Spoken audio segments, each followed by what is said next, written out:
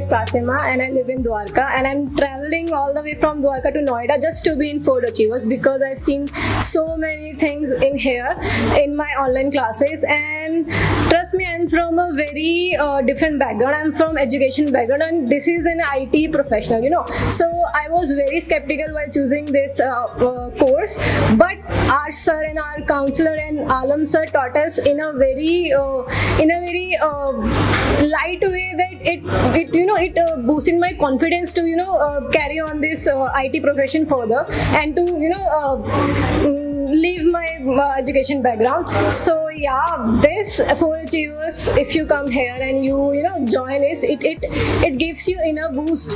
to pursue this IT uh, profession. And yeah and I will um, you know tell everybody to at least come and have a counsel counseling session so you will know by yourself